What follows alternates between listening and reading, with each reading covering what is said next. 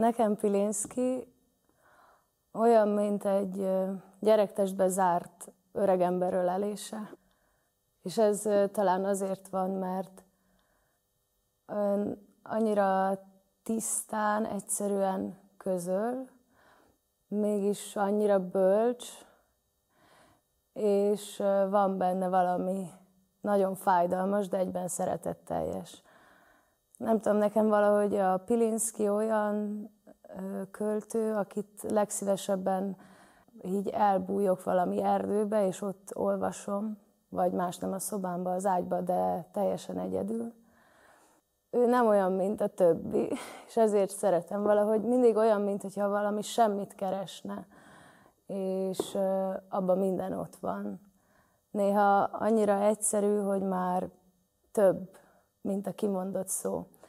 És vele kapcsolatban az az érzésem, hogyha tudnék vele itt találkozni, vagy most így felhívhatnám telefonon, akkor nem egy ilyen nagy kávézóba hívnám el, ahol így mindenki látja, hogy mi beszélgetünk, hanem valami kis zegzugba, ahol egyikünket se ismer senki, és valahogy az lenne a vágyam, hogy a beszélgetés során eljussunk oda, hogy, hogy megtaláljuk a közös csöndet. De a versei kapcsán, vagy hát így tudunk találkozni vele.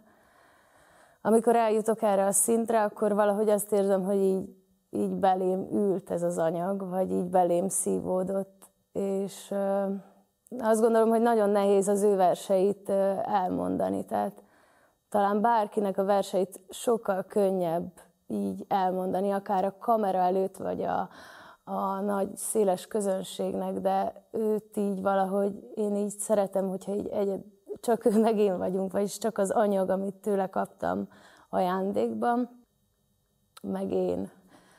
A kettőség még abból a szempontból fontos számomra, ami a repüléssel és a zuhanással kapcsolatos.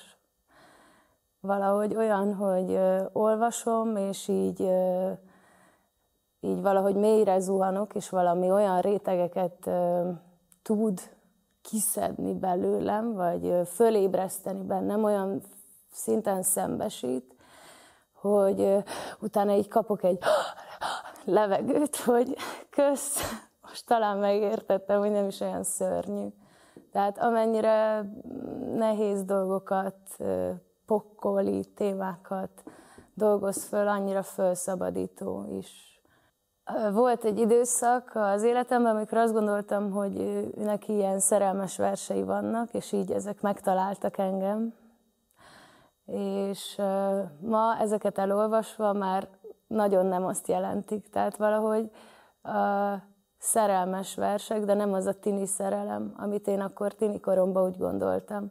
És ezért jó. Úgyhogy remélem, hogy egy 20-30 év múlva is elővettem, de miért ne vehetném elő? és akkor meg, hogy új dolgokat fogok tőle kapni. Annyira csodálatos nézni az ő fölvételeit, ahogy így állandóan a cigaretta a szájába van, és ilyen, ilyen legmélyebb dolgokról beszél, de közben pedig a szeme állandóan így mosolyog, és ez valamilyen félelmetesen nagy erőt tud adni nekem. A pokol térélmény.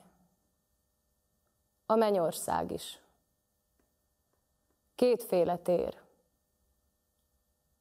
A mennyország szabad. A másikra lefele látunk, mint egy alaksori szobába, föntről lefele látunk, mintha egy lépcsőházból kukucskálnánk lefele, egy akarattal nyitva hagyott felejtett alaksori szobának ajtaján át.